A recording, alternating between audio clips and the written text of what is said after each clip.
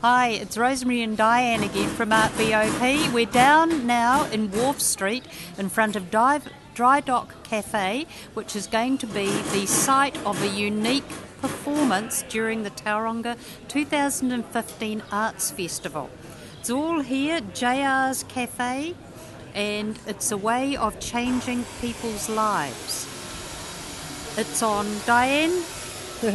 uh, you can choose from a Tuesday or Friday performance, 5 and 7 pm. So it's a nice short little one. That'd be a great one to go to. And let's face it, everything happens in a cafe.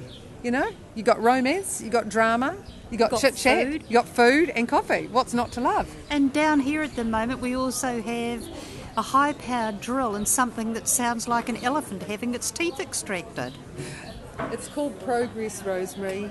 the sounds of the city do you know nothing.